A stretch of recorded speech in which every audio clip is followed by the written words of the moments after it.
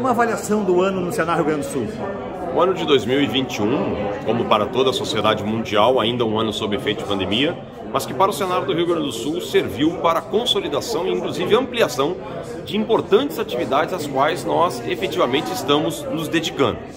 Tivemos um avanço expressivo nas ações de assistência técnica e gerencial do Rio Grande do Sul, passando para mais de 4.200 produtores recebendo visitas técnicas mensais, onde há orientação técnica e gerencial aos seus negócios.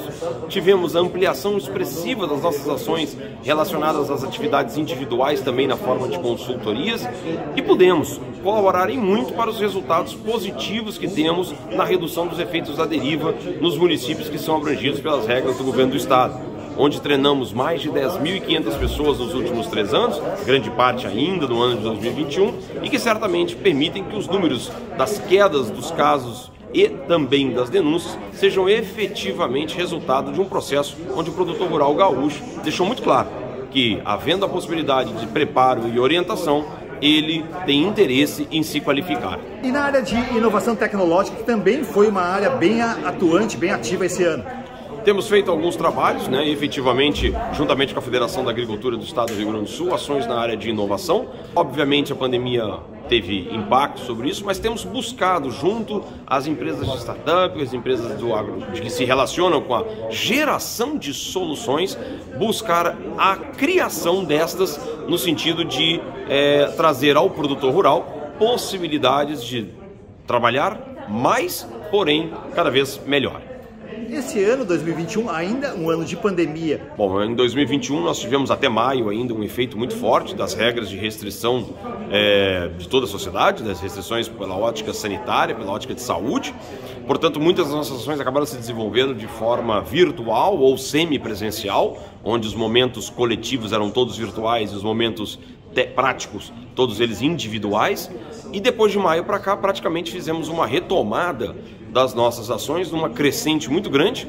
Temos ainda, para vocês terem uma ideia, nos últimos dias e os próximos dias de dezembro até o dia 20, quase 500 cursos acontecendo ao mesmo tempo no interior do estado. Mas, efetivamente, tivemos então uma crescente que nos permitiu terminar o ano com aproximadamente 60% das metas em treinamentos alcançada e em assistência técnica gerencial mais do que isso. E 2022, as metas para o próximo ano? 2022 trabalhamos todo um planejamento orçamentário e de, anual, e de trabalho é, calcado num ano normal. Temos uma meta expressiva de crescimento da nossa assistência técnica e gerencial, passando dos atuais 4.200 produtores para 15 mil produtores até dezembro de 2022 associada a um crescimento das nossas ações de treinamento, voltando a termos, como tínhamos em 2019, a, a ordem de 9.500 atividades acontecendo ao campo, fazendo com que o Senar possa se relacionar então com praticamente 160 mil pessoas em um ano inteiro. Mensagem que tu deixa para os internautas da página rural?